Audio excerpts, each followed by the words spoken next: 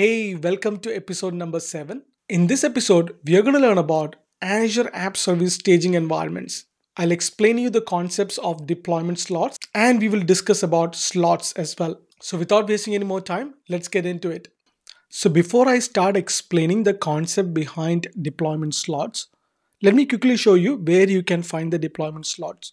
So I logged into my Azure portal, go to app services. If you don't have an app service created, click on create to create a brand new one. So I'm going to select the one which I created earlier.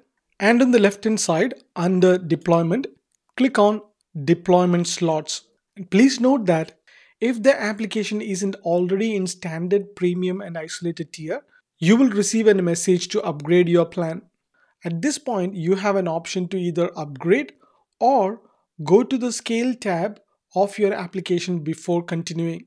So I'm going to click on upgrade.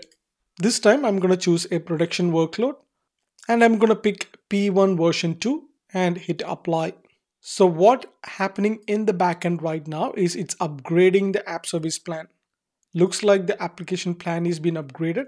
I'm going to go back to my application and hit refresh. All right. Now you can see there is an option for me to see my deployment slot. On the top, I have an ability to add new slots. Click on add a new slot, give a name, and I'm going to call it as staging.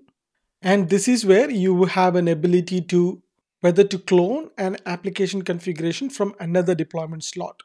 After making the change, you can hit on add. So while this is happening, you can clone a configuration from any existing slot. Settings that can be cloned include app settings, connection strings, language framework versions, web sockets, HTTP version, and platform bitness. After the slot is added, select close to close the dialog box. Now you can see the new slot is shown on the deployment slot page. By default, the traffic percentage is set to 0 for the new slot, with all customer traffic routed to the production slot. So select the new deployment slot to open the slot's resource page. And the staging slot has a management plane just like any other Azure app service. You can go under settings and you can change anything on this configuration page for this particular slot. And if you go back to the overview page, you can see that the deployment slot has its own host name and is also a live app.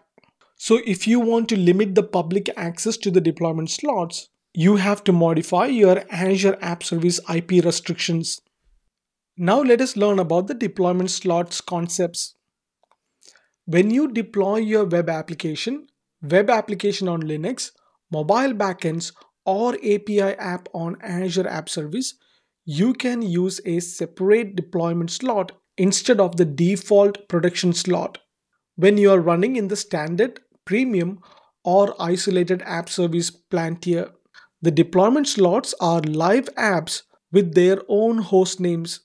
The app content and the configuration elements can be swapped between two deployment slots, including the production slots. And deploying your application to a non-production slot has following benefits. You can validate app changes in a staging deployment slot before swapping it with the production slot.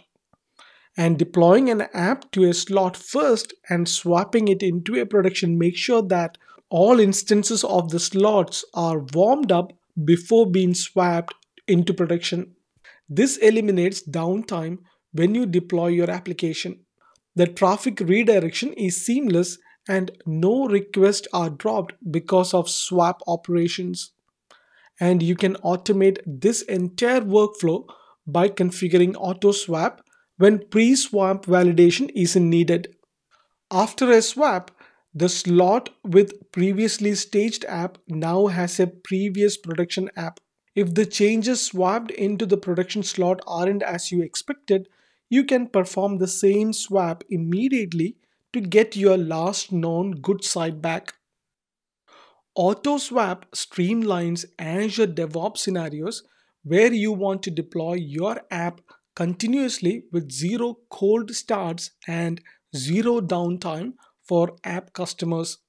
When AutoSwap is enabled from a slot into production, every time you push your code, changes to that slot app service automatically swaps the app into production after it's warmed up in the source slot. So let me show you where you can see the auto swap.